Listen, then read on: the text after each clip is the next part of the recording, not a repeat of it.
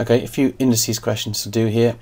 Um, question 4, part 1, we have p cubed and the whole thing is cubed. So this is a test of your power of a power uh, law, which says that we multiply the powers in this case. So 3 times 3 is 9, your answer there is p to the power 9. Now part 2 involves the multiplication rule and the division rule. So first of all we'll start by simplifying the top. We have a 3 and a 2 which we can multiply quite easily to give us the 6. So you treat the numbers first and then look at letters which can be combined. Next we've got q to the power 4 times q to the power 5. This is the multiplication law where you add the powers. So we get q to the power 9. This is still divided by q to the power 3. I haven't changed that yet. But in the next step I will do that because we've got the power 9 divided by q to the power 3.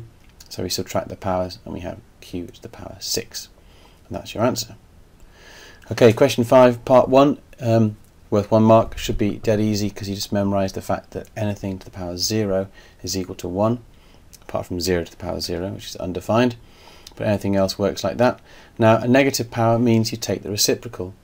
So minus 2 means it's 1 over 4 squared.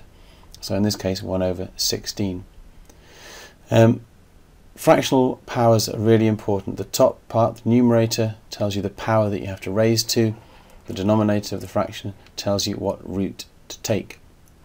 So in this case here, we have a 2 on the bottom, that means we're going to take the square root, um, and then the 3 on the top means we need to cube it. So square root first, and then cube it.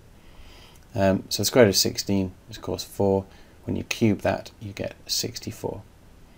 By the way, you can cube it first and then square root it, but it's usually easier to do the square root first. Now here we've got a bit more going on. We've got um, a fractional power, but we have a minus sign. So the minus sign, a bit like in 5 part 2, tells you that it's a reciprocal. So you do 1 over the value that you've got. Um, and like in 5 part 3, we've got a fraction, so the top half of the fraction is the power that you raise to, and the bottom half of the fraction is the root that you take. So we will look at deal with these one step at a time. We'll deal with the minus sign first, which means take the reciprocal. So instead of 8, I have 1 over 8. And that now deals with the minus sign, so the minus sign goes, and I just have 2 thirds as my power.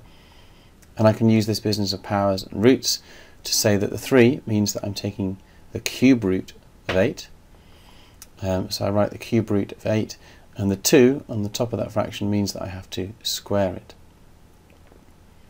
So of course the cube root of 8 is 2, so I have 1 over 2 squared, which is 1 over 4, or a quarter. And there we are.